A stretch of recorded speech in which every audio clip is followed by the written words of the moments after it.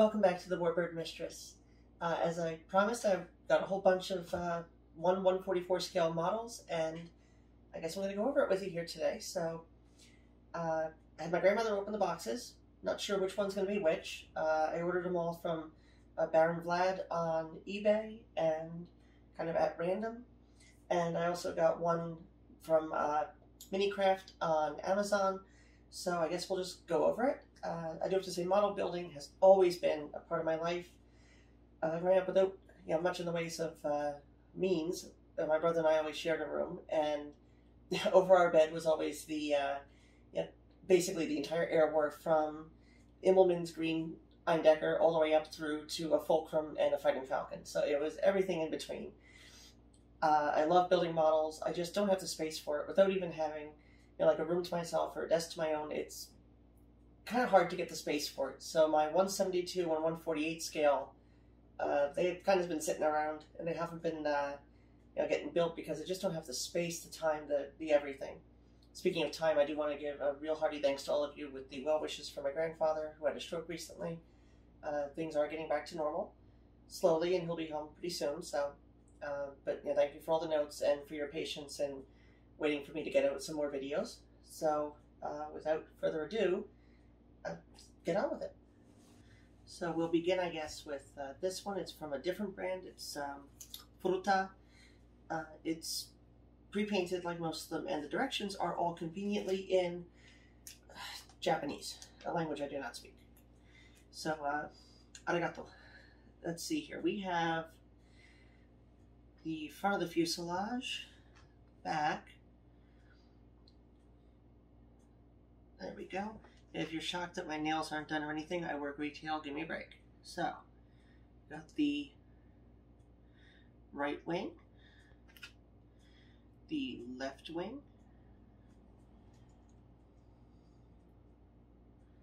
there we go. Uh, there's the vertical stabilizer.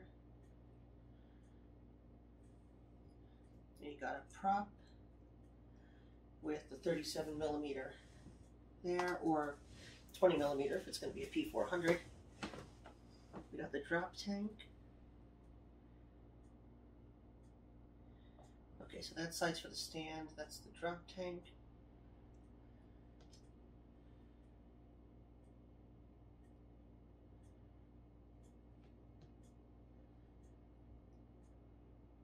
And I guess like almost like a Lego. That's it somehow. There we are.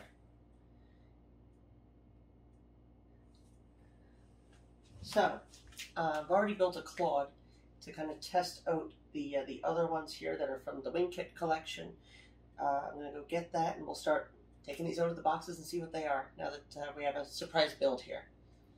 Okay, so this here is the A5M Claude, uh, the Mitsubishi fighter that I think everybody, uh, except for a few select in China, thought was the default Japanese naval fighter in 1941. If I'm not mistaken, the Ryujo was still outfitted with uh, Claudes and not Zekes. But here she is. Um, I happen to love the Claude. I think its development from this, you know, gull-winged att- uh, attempt at a speedy little, almost French influence, I'd say, if I if I might. Um, even though the Japanese, of course, were in the British sphere of influence and design um, all the way up to being the fighter that that really defined the later half of the 30s for the Japanese Navy, coming in from basically nothing more than the uh, biplane fighters that came before it, and in a lot of ways, it's well, basically the pea shooter of the Japanese Navy. So you can see I had some problems with the decals. The uh, they are tiny; they didn't really stick too easily. So going forward, I'm definitely going to work on that. So that's the Claude that I already built. Uh, we'll have that next to the P39 there. And we'll get to the rest. Well, now that I'm comfortable, we can take a look at this one. This one is either going to be a U-88 or a Helen, it looks like. For a second, I thought that was a Portuguese cross on the uh, vertical stabilizer, but it's not. It looks like this comes in four possibilities. You've got a Helen in two different paint schemes. You've got a U-88, that's either continental or desert. I want to say it looks like a Francis. Yeah, I think number three uh, looks like the Francis. And then the B-25 Mitchell. So these are the twin engine aircraft collection three. Again, the only one I've built from this company is the Claude, but let's give it a go. And see here, we've got everything in there. Told her just open it up, just so I don't know what's in it. And looks like we've got a stand, we've got some instructions, taped awkwardly down there. Again, all in Japanese. So, uh, number one, type 100. Good artwork. And looks very simple to put together. And while I pretend to even try to understand this, let's take a look at what's inside. Uh, got the tape on the sides here? Nope. Okay. Oh, yeah, one side. Thought that was something pulling at it. Looks like we've got the tops of the, no, bottoms of the engine nacelles. Say the paint job is very good. Looks like there's one machine gun missing. I'm sure I could probably make one unless it's, oh no, it's only supposed to be one. All right. Probably a single 7.7 millimeter there. None in the tail, but it does look like tweezers are going to be needed for some of these parts. I mean, we're down to the, the radio aerial and everything. Uh, landing gear, definitely detailed. I'm very happy with this one. And the Helen is an interesting aircraft because it's, everybody thinks of the Betty and the Sally. You don't really think of this one. And it's uh, interesting you know, Japanese army bomber that probably would have been more useful had well a combination of things. You have the Russian the fact that the Russians have their means of production far, far away from anything the Japanese could hope to do. Uh, that's one issue. You have, in addition to that, just the fact that there's very little that they could hit in terms of American targets.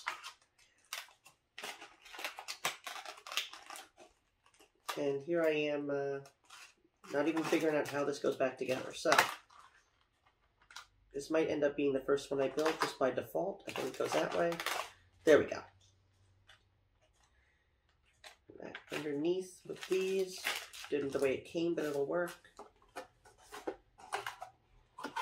So, still pleased. It's bigger than I expected. I mean, it really shows you the difference in size between a fighter and a bomber because I figured it was going to be just slightly bigger than the Claude, and then it's bigger aircraft than I thought. There's a couple of aircraft like this in the Japanese inventory that people just don't really think of. You know, the Ki-100, you have the uh, the Dinah, the Helen. Uh, this one, you figure, is a little stockier. It's almost like a cross between a Nell and a Betty, but I mean, even then, you had other aircraft that were just in smaller numbers or they were in the CBI front mostly. There were a lot of reasons why they didn't quite capture the American imagination, but uh, let's go for this one. These all open like pasta tops, I noticed. So this is going to be either a Zeke uh, Type 52, uh, a Dora 9 Focke-Wulf 190, or a P-51B, which would be the uh, Mark III in, jet, in British service, I believe. So, if I'm wrong, I'll correct myself somehow, or I'm sure that you in the comments will. Although I have to say, you guys are usually generally very nice in the comments. But I'm always grateful when you add something or do something um, that I forgot. So this comes with, uh, so it looks like I got C here. So that's going to be, I'm gathering 316 is for number 316 squadron, and 309 is for number 309 squadron. Uh, does have the semi-bubble canopy that the, you know, I guess it gives you more headroom. And you see that in so many British aircraft or Commonwealth aircraft to be polite to my own home dominion. Let's see here, we've got Now this one, the cockpit is separate, so that's going to be interesting to keep the uh, keep the glue from fogging that up. We've got a single piece wing. Oh yeah, that kind of comes together very well. Best German wing on an American aircraft ever. We got that together. That's going to be interesting. Uh, parts are all not a lot of paint job on it, but it doesn't really need much.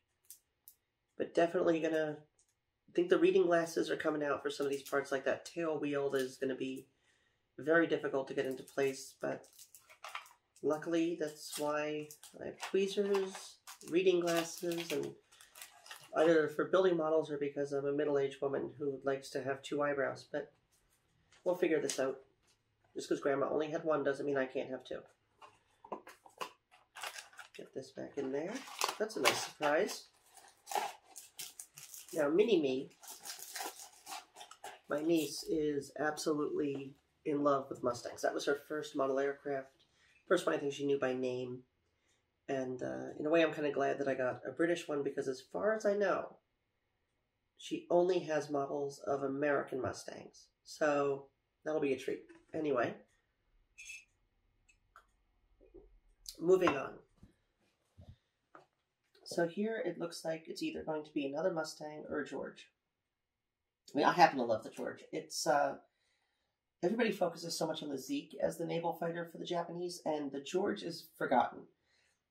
Um, definitely stockier. To me, it always reminds me of like almost a stocky barrelish kind of aircraft that you don't expect to be as good as it is. Almost like the uh, early marks of the Buffalo or you know, the Hellcat is a great example. So Let's see here. We've got, oh, it's a George versus a P-51.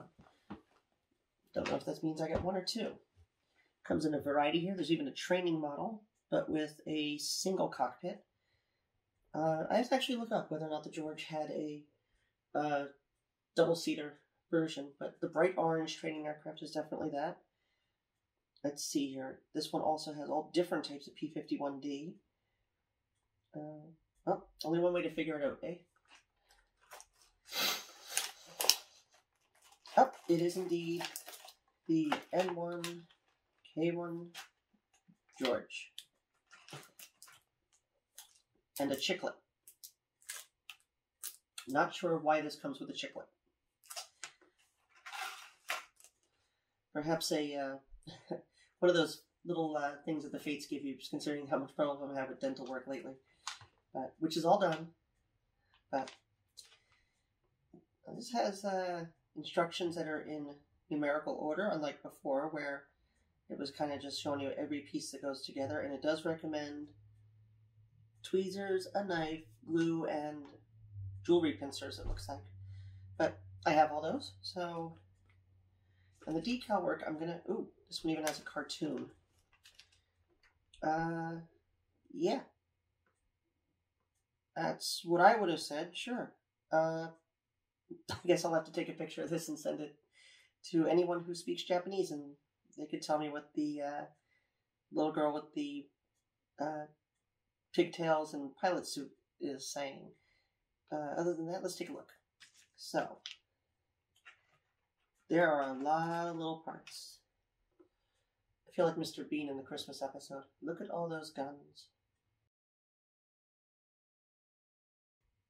Yeah, there's some struts in here. The wheels are separate from the struts, so it's a little more finely detailed than the Helen. I'm going to give it that. Uh, looks like we have two sets of decals, or one set of decals. One, uh, yep, there they are.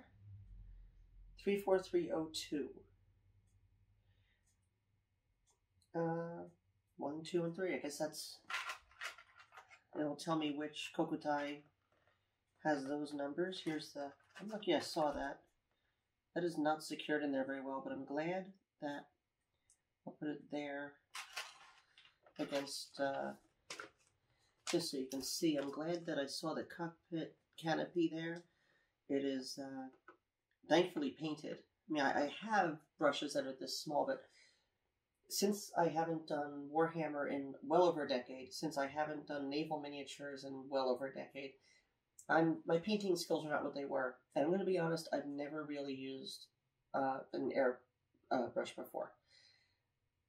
Grew up with using just regular brushes, and that's what I've always used. So we're going to see how that uh, skill set fares now.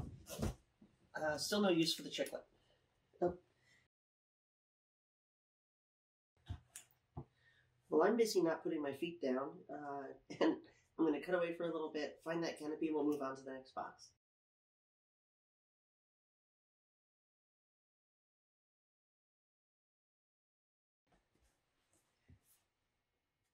So I found the canopy, and I believe I retained my dignity. So uh, if I do a blooper reel for that, I'm going to have to mark it plus 18, put it that way. Now let's see what the next one is here. We have, oh, it could be another Claude. Uh, could be a B339 or an F2A. And it could be a Hurricane. This one is not open. So let's take a look. Oh, nope, it says 2A. So I'm guessing that that means it's this one. Oh, let's figure that out.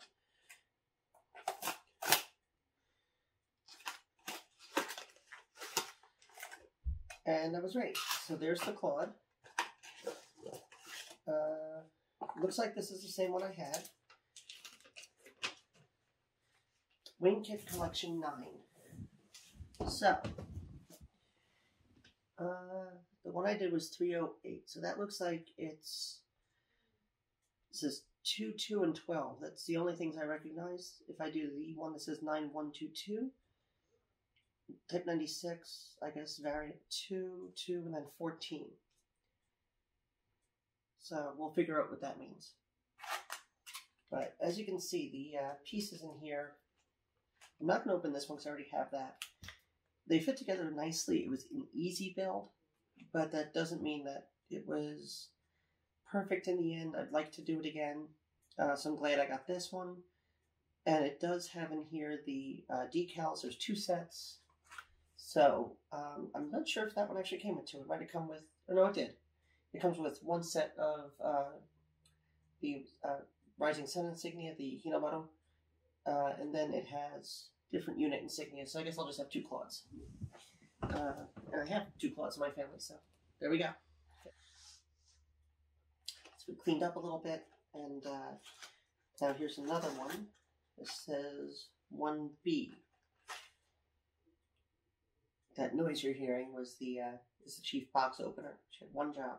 Hopefully the hopefully the microphone doesn't pick up too much on that. Uh, now this is, is 96. Obviously that means the Type 96 is the, the Claude. And then 4 is the number after it. So I'm guessing that that has a reference to either the carrier air group or the unit or, well, I'll figure it out or one of you will correct me, I'm sure. Let's see here. Oh, and I was wrong. This is a Dutch East Indies Buffalo. So the B339, uh, as it conveniently says here as well. Yeah, these were a lot of people bemoan the Buffalo. I actually like the Buffalo. Um, not the updated F2A3 models, but the ones prior to that. The ones without all the armor and the other things that would become so famous among other uh, American carrier fighters. The F-2A was actually very maneuverable, and you know, the first marks of it, you know, obviously you look at it in Finnish service and duck, and you know, the uh, they did so well that in Finnish service it did, uh, you know, phenomenally well in the Winter War and the Continuation War. The Dutch, uh, you know, if they really stripped it down, I'm sure that they and they had the training and they had early warning systems in place might have, I don't think the war would have gone differently, but it might have been more interesting. Uh, let's see here. And I know I still have a video on light fighters too, so we'll get into that later. But let's take a look here. How the colors appear accurate. Uh, it's got the tiny little parts that are going to remind me that I'm no longer in my 20s. And almost done with my 30s. Uh, but otherwise than that, it looks like a very similar build to the Claude. It's held together by these almost Lego-like kind of, uh, I guess, where the, the, the where it sits. the landing gear looks like it's going to be interesting to put together. And of course, that's not a proper keep left sign. No, the uh, those are NEI insignia for the Dutch Air Force there. So we're doing, that's going to be fun. I like that. I got my niece uh, two posters uh, that were puzzles that you know she could put together and all that 48 piece for a kid and one of them was in in Lavoie uh, Buffalo. So I kind of wish it was that one but I'll settle for the Dutch.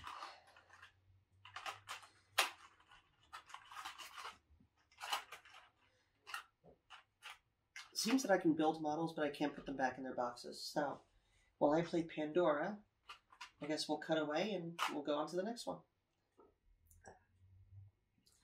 Life or Juice so that's uh, this next box here. Looks like it could be a George uh, Typhoon or Tempest rather, or a uh, I want to say it's a Ki 44 Tojo. Maybe. Uh, it's too long to be a, a jack, I believe. But we'll figure this out. Uh, let's see, type yeah, it looks like that's what it is. No numbers on here. Uh, definitely, yeah, I think that's a Tojo, not a Jack. The Jack was funny. It's always like this little stubby thing that you know, I think it's overlooked. It almost reminds me of if the Japanese were taught to build a buffalo, but only ever saw photos of it. The Tojo is, to me, much more interesting because it's it could have been what the Frank was, except for the fact they didn't have the engines. You know, it's the uh, so the Kinsei, I believe, or Kinsei or Kinsei was the engine. Um, but let's see here. This is yeah, and there it is. Definitely, it shows the where it was even distributed. Uh, not that I'm suggesting that aircraft are you know migratory, but the uh, especially if they had coconuts.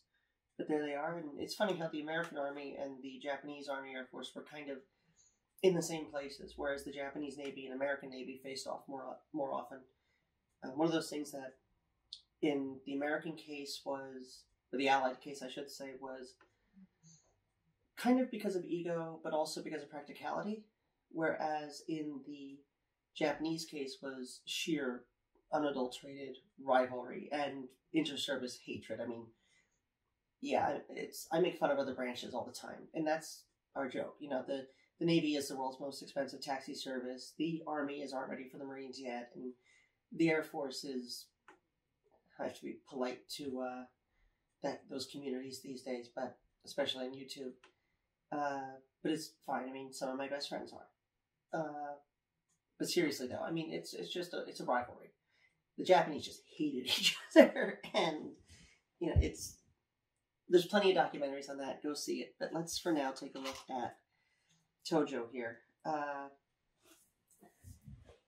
it does seem to be longer than I expected. I always think of the Tojo as being almost like the Jack and being you know kind of a round uh, shape, like a, a, a barrelish aircraft. Uh, see here, we've got the wings here, even down to the, it's even a pitot, and that's, uh, it's a little bent, but figure this one out. There's a, oh, this is strapped in there. There we go. Parts kit here. See, now this is going to be, this is very detailed. Here we have the, well, that's the stand. They all come with these clear stands there, and there's the canopy, which is not painted, so that's going to be fun. Uh, there's the prop and spinner, the horizontal stabilizers. And landing, oh, okay, so these are the spats for, and the struts. These are the rest of the landing gear, I guess. I think. Oh, you know what this is? This is if I want it. That's interesting. This one comes with two sets of the landing gear uh, struts and spats so that it can be either in flight or, uh, you know, its regular landed position. Uh, all right, so. And once again, it looks like there's cartoons here. There's a somebody warning me not to break things off with my finger, or oh, to use a snipper or a knife, I think. There's one guy there, looks like he's about to do Rosie O'Donnell's uh, pedicure. So I think I can figure this out. Yeah, I have to say it's obviously they're not weathered or anything, but I could definitely see some potential in these designs. But that is a these are very well made. I'm pleasantly surprised.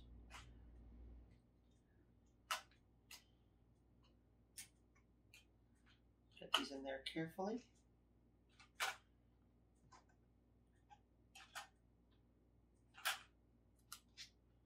This is definitely easier than the last one, and it looks like we have, there's the stand. So I don't think I need the bags any longer. There's the decals. Figured that out. There's the all the instructions seem to be done by different artists. I have to admit, some of them have the little anime characters in there. Some of them have. Well, to be honest, I'm not even. Oh, there we go. So it looks like I can build it of the. It says 2A, so I'm guessing that that's meant for the either 47th or 19th. Not sure what they actually stand for, so again, I'll figure it out.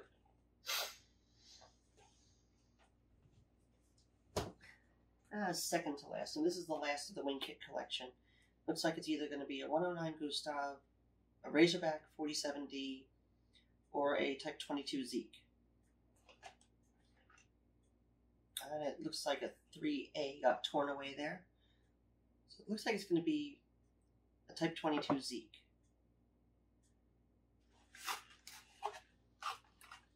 And it looks like it is the Zeke. So, it's got that dark green paint job. Of course, wings with the yellow leading edges. Canopy there is gratefully painted. I'm not going to put it on anything right now. You know, there we go. Can't lose it on that. Gratefully, that is painted. We've even got some very nice paint details in the uh, in the wing there. I have to say, this one is going to be very interesting. Looks like it's an easier build than the others, but definitely has all the parts in the right places. And they're pretty easy to put together, gratefully. So, take that out. And do this carefully because I don't trust it. And once again, the decals, I'm definitely going to have to use some decal seal on that. Uh, I really, I honestly don't trust him after working with the Claude.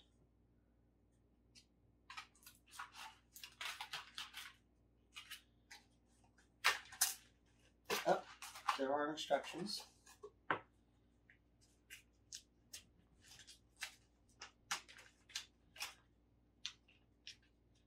And these even have numbers in the order, so course the ones that seem more complex don't, but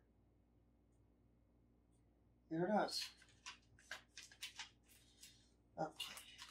And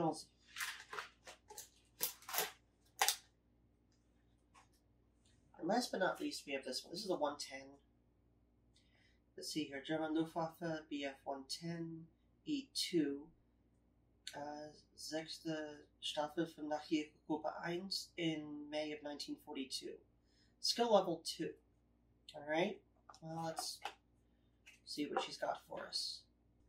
And for those of you watching the couch behind me, I'm well aware that we're not done with all the slip covers. So, it's not some new bizarre interior decorating thing. Not that I expect a group of a couple hundred men that regularly watch my videos to notice, but there it is. So here we are, the Zerstörer herself. There are a lot of decals here. And we've got, I guess, the bag that they just fell out of. This is not painted. All right, so this is going to be fun. This might be a step-by-step series. Uh, looks very well molded. Bigger than I would have expected. Uh, when you compare it, and you definitely see the difference in size. I mean, it's almost twice the size of the Claude. I could see how in air combat that would not be beneficial when you're trying to maneuver around Spitz, Hurricanes, even a Gladiator. I could either make Rudolf Hess's aircraft, uh, one of the Erste Staffel uh, der Strichelgruppe 26, or the one that's on the cover from the Nachtjägergruppe. Your Minicraft model includes high quality water slide decals that adhere best to a glossy surface. I hope so. I've never built Minicraft before, uh, but you know, that's there's always a first time. Like I said, I've just gotten started into these 1 144 scale uh, models. I've built one before today. This one you just saw me build. But I'm going to keep that in there and I don't think I need the plastic bags again. Move this out of the way.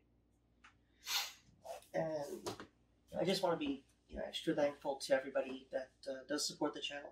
For those of you who want to know what your donations, uh, your purchases from the store, and your YouTube memberships go to, software subscriptions uh, for Adobe and things like that, Office 365, I think those are the big two. Uh, access to uh, some imagery that is not always readily available, but that I might have to find through another website. I have a couple of smaller subscriptions. What else? Um, Scribd, which is great for finding reference materials. And this. I don't mix my private funds with uh, channel donations and purchases, two separate accounts. Uh, it's I just make sure that you guys get what you put in, and I try to put in as much as I can with my work schedule lately, you know, Christmas time over the holidays is, you know, it's just this one big from Hanukkah through past New Year's and now into St. Valentine's. It's retail is retail. Haven't done it in 20 years uh, until last year, but getting the hang of it, I think. but it is definitely something that takes up your time. The model building I wanted to do, like I said earlier, I just can't this seems like something appropriate to when you don't really have a place to call yours and you still want to keep your hand in. So stay tuned and we'll definitely go build by build, uh, talk about each aircraft, and the second I figure out what any of that Japanese says, I'll probably tell you what it means too. Uh, moving forward, I have the outlines and the slides and everything put together, as well as the videos that go into it all for the fourth and fifth episodes of the Pentalogy Luftwaffe at Sea. I also have the uh, material all put together, but I have to write the script for the second part of the Coast Guard uh, aviation video. That's going to take us through the uh, basically the war years and the 1946. Uh, we're going to stop with because there was there were some changes in Coast Guard aviation at that time. Uh, obviously, I do have some older videos I can go back to. I have the one on light fighters. That uh, is actually one that I kind of keep bouncing around because I'm never sure how I want to approach that one. And other than that, it's up to you. So tell me what you want to say about airplanes. Until next time, I'm Claire and I am the Warbird Mistress. Take care.